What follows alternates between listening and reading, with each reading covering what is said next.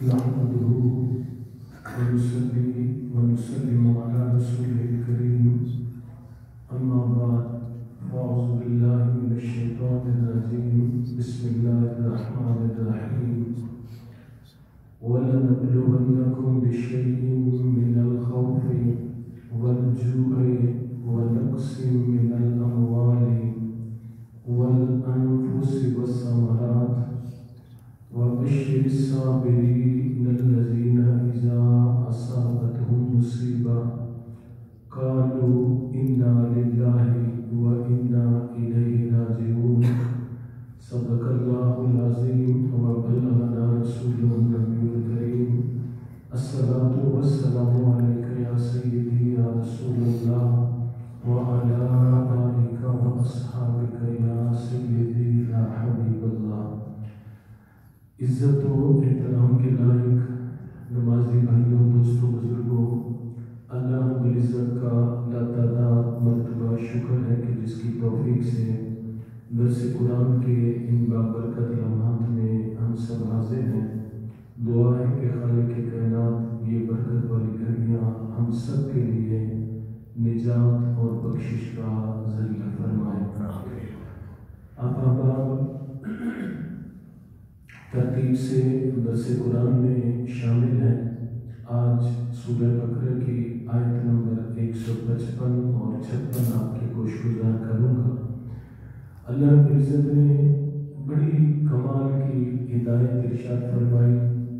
बंदे मोमिन के हौसले के लिए, तसल्ली के लिए और उसके यकीन को मज़ीद कामिल बनाने के लिए अल्लाह ताला ने इरशाद फरमाया, वाला नबलुवन्नकुम तुम्हें ज़रूर आजमाया जाएगा मिनल खौफ खौफ के साथ, वल जुए, भूख के साथ व नक्सिम मिनल अमवाल माल कम करके, वल अनफुस और जाने कम करके वसमारा और रिज्क को कम करके तुम्हें आजमाया जाएगा। ये पाँच किस्म की आजमाइशें अल्लाह ताला ने इस मुकाम पर बयान फरमाई कि तुम्हें खौफ का सामना भी रहेगा, भूख का सामना भी करना पड़ेगा, माल की कमी भी होगी और जानों की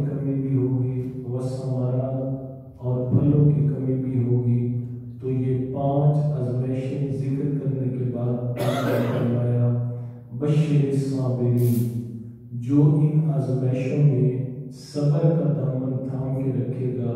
अल्लाह फरमाता है, उसके लिए दुनिया में भी खुशखबरी है और मरने के बाद भी खुशखबरी है। इस दुनिया में आने वाला कोई भी इंसान ऐसा नहीं है जिसने मुश्किलात का सामना ना किया हो। लेकिन बंदा मोमिन के लिए जब मुश्किलात मुँह खोलती है तो शरीयत की तालीम है कि उस पे सब्र करे। मोमिन जब उस तकलीफ़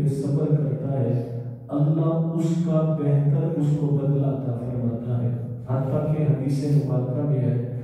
हजूर सल्लल्लाहु फरमाते हैं कि जब किसी बंदा मोमिन को कांटा चुभता है या कांटा चुभने से भी कम तकलीफ़ होती है और वो उस पे सब्र करता है, उस पे सब्र करता है तो अल्लाह ताला इसका भी उसको अजर अता फरमाता है।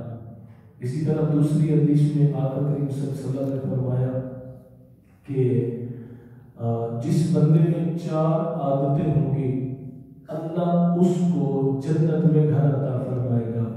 पहली बात कि जो ला इल्लल्लाह पढ़कर अपनी जान की हिफाजत करे और माल की हिफाजत करे। यानी हर वक्त ला इल्लल्लाह के हसार में रहे, कड़े में रहे। और ला इल्लल्लाह पे उसका पूरा यकीन हो कि हर मुश्किल में हर भलाई में मेरा रब मेरे साथ है, वो ला इलाहा इल्लल्लाह का विरद रखे। दूसरा हजूर ने फरमाया, जब उस पर कोई मुसीबत आ जाए तो इन्ना लिल्लाहि व इन्ना इलैहि राजिऊन पढ़े ठीक है? किसी भी मुसीबत पर। हत्ता कि हजूर का अमर ये था कि अगर कभी जलता हुआ, चराग बुझ जाता तो आप उस पे भी इन्ना लिल्लाह पढ़ते कोई भी मुश्किल आती तो उस पे इन्ना लिल्लाहि व इन्ना इलैहि राजिऊन पढ़ते तीसरा हजूर ने फरमाया कि जब कोई गुनाह करे तो तौबा करे। और चौथा हजूर ने फरमाया, जब कोई परेशानी आ जाए, उस पे सब्र का दामन थाम के रखे। ये चार बातें जिसमें भी होगी, अल्लाह उसको यकीनन जन्नत और फिर याद रखना, बंदा मोमिन का मामला कुछ इस तरह है कि इसने आजमाइशों की चक्की से गुजरना है। कुरान में दूसरे मुकाम पे, सूरह कुरान में आता है।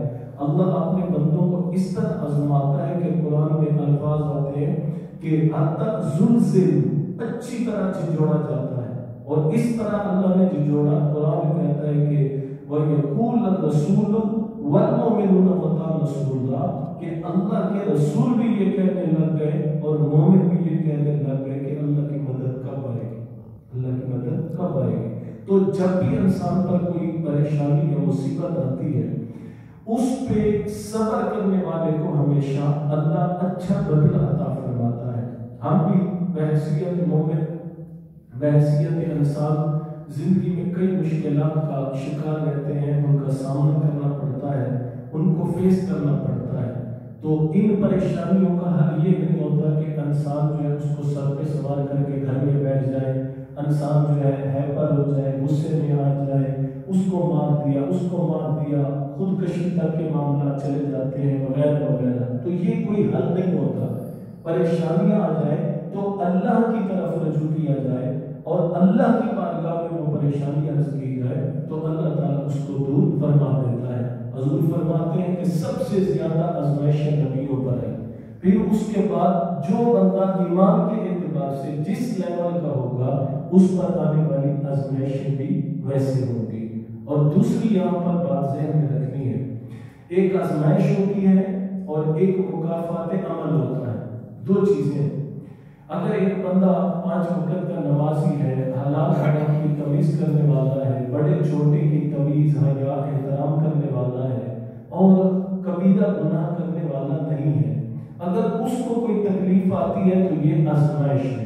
और एक बंदा वो है जो दूसरों को तकलीफ़ देकर खुश होता है। उसको जब कोई मुसीबत आएगी तो वो मुकाफात अमल होगा, वो आजमाइश नहीं होगी। बल्कि कुरान इसके बारे में फरमाता है, वमा असाबकुम मिन मुसीबतिन इल्ला बिमा कसबत अयदीकुम वल्लाहु याफुल कसीर। कि बहुत सारी मुसीबतें ऐसी होती हैं जो तुम्हारे अपने करतूतों की वजह से होती हैं। कोई बंदा जो है किसी को तकलीफ़ देके वो कहे कि मैं खुश रह लूँगा, ऐसा मुमकिन नहीं है। लोगों के आग पे डाका डाल के वो सजदों में जन्नत तलाश करता फिरे ऐसा कभी भी नहीं होगा। किसी को जो है अपना तंग करके, परेशान करके, मुश्किल में डाल के, वो कहेंगे मेरे लिए आसानी होगी, ऐसा नहीं होगा। बल्कि मुकाफात अमल होगा उसके साथ। जैसा किसी से करेगा, वैसा करेगा टिट फॉर टिट इंग्लिश में, और इसी तरह अरबी में कहते हैं, कमा तुदीन तुदान उर्दू में, जैसा करोगे, वैसा बनोगे। तो ये होता है मुकाफात अमल। कि एक बंदा, एक बच्चा आज बाप के साथ अच्छा नहीं है। वो ये उम्मीद रखे कि मेरी औलाद मेरे साथ अच्छा करेगी, ऐसा नहीं होगा। आज एक दोस्त दोस्त के साथ दगा करता है, फरार करता है, और वो कहता है, मेरे साथ कोई कुछ नहीं करेगा, ऐसा नहीं होगा। बल्कि वो जिसके साथ जो नुकसान वाला मामला करेगा, कल को उसको भरना भी पड़ेगा। तो बंदा मोमिन की ज़िंदगी। अगर वो एक पाँच वक्त का नमाजी है और हलाल हराम की तमीज करने वाला है, गुनाह कबीरा करने वाला नहीं है। उसको अल्लाह आजमाएगा कि मैं देखूँ कि ये बंदा जो है, मेरे साथ मोहब्बत का जो दावा करता है, किस हद तक सच्चा है?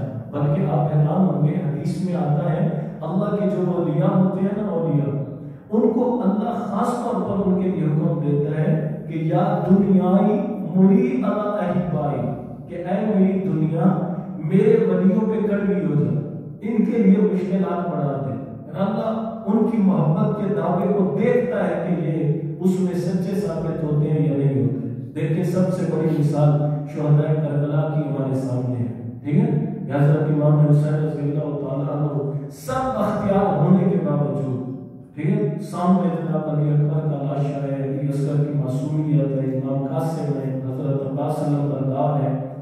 पैंतालीस अफराद खानदान के जो है वहाँ पे मसले है और जुल्म की इंतहा कर दी गई। लेकिन फिर भी आप आसमान की तरफ़ मुँह करके कहते हैं, या बारी तला ये सब कुछ लेकर अगर तू राज़ी है तो मैं भी तेरी रजा पे राज़ी हूँ। मैं भी तेरी रजा पे राज़ी हूँ। तो इसलिए मुसलमान की ज़िंदगी में जो है मुश्किल आती है। अल्लाह इकबाल कहते हैं, ये शहादत गाहे उल्फत में है कदम रखना। शहादत गाहे उल्फत में है कदम रखना लोग आसान समझते हैं मुसलमान होना मुसलमान होना आसान नहीं है।